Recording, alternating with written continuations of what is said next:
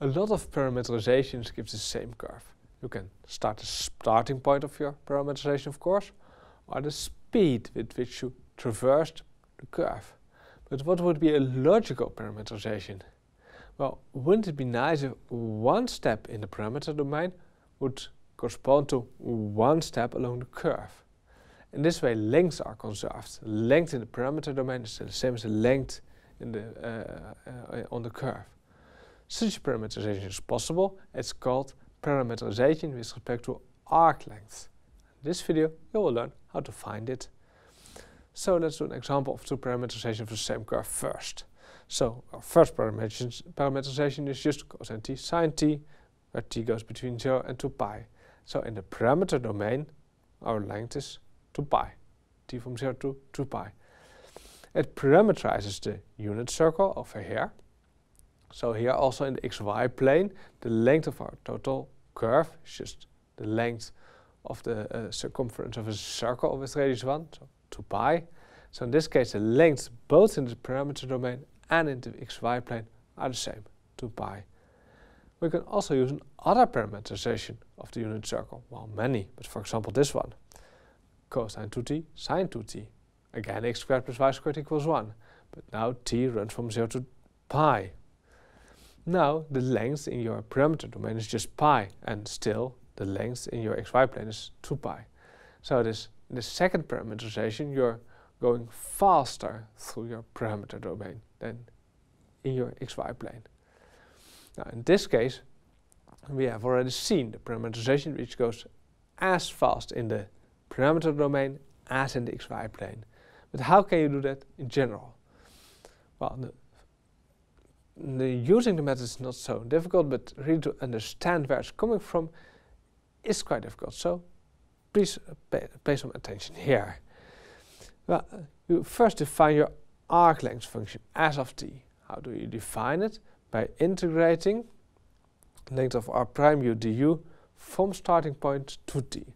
So your s as function of t gives you uh, the length of your curve uh, up till until your parameterization is at t. Uh, so for example, if s of some t star equals 3, so here you start at a and you go until t star, that means your s, your function s of t star equals 3 means that the length along the curve from a to t star is exactly 3. Now, you can solve here, uh, if you differentiate with respect to t, you get a differential equation, dsdt equals length of r prime of t, use the main theorem of calculus, and now you can solve this differential equation to find s explicitly in terms of t. Now, s of t me means equals 3 means that, uh, so s equals 3 means that you have traveled 3 units of length in your parameter domain, and you can use this. So what do you do? You invert, so you have your s of t, you invert, you find t of s, and then you substitute this into your original expression, so you get r of t of s. Now, what does uh, r at s equals 3 mean? Well, that you have traveled 3 units of length in your xy plane. But now you use as your original parameter s. So s equals 3 corresponds to the point where you have traveled 3 uh, steps in your xy plane as well. So the same holds for s equals 4 and 5. So the r at s equals 4 means that you have traveled 4 steps in the xy plane. So this parameterization, parameterization exactly gives you if you have walked a number of steps in your s domain, then you have walked the same number of steps in the xy plane. So that's the idea of the parameterization. So, an example, reparameterize with arc length this uh, curve over here, it's power sine t, it's power cosine t, and square root of 2 times it's power t. So how can you do this?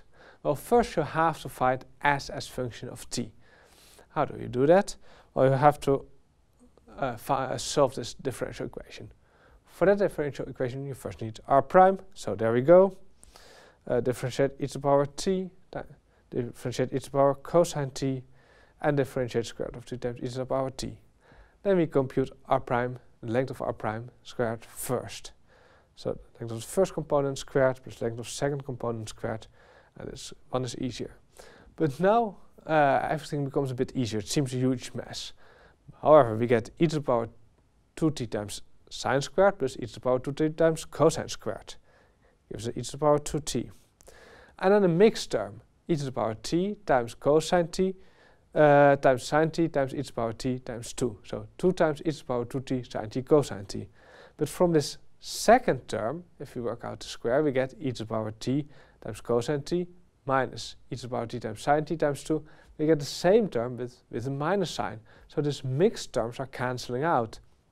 And the only thing we, uh, we obtain from the second term is e to the power 2t cosine squared plus e to the power 2t sine squared. But those two together gives us give us an uh, other uh, e to the power uh, uh 2t. Should be e over here. And then we are left with the last term. So if you add everything together, we get 4 times e to the power 2t. And if you take the square root, you get the length of r prime equals 2 times e to the power t. So actually, our r prime start to be look really ugly, but in the end, it's not that bad. Fortunately, because we also have to solve the differential equation, the SCT equals 2 times e to the power t. Now that's easy now, you can just integrate with respect to t, and you'll find s of t equals 2 times e to the power t plus k. Well, choosing this k corresponds to choosing your starting point in your s regime, so you can uh, gauge it as you like, and an easy choice would of course be to choose k equals 0. You can choose any k you like, corresponds just to shifting your starting point of your parameterization, so, but let's choose k equals 0. So you get uh, s of t is just 2 times e to the power t over here, we can invert that expression and we get t equals the ln of s over 2. And now we get our new r of s, same curve with, with a different parameter. Uh, it looks a bit awkward. Of course, you have, uh, you have to substitute uh, s over 2 equals e to the power t over here. Then uh, t equals the ln of uh, s over 2 over here. So you get this one. And do the same uh, with the with the other terms. So the r of s looks a bit worse. I mean, the expression looks a bit more. This expression looks a bit more complicated, of course, than that expression. But the nice part is, if you now walk one step in the s domain, you also walk one step in the x, y, z domain, and that's exactly the idea of parameterization with respect to arc length.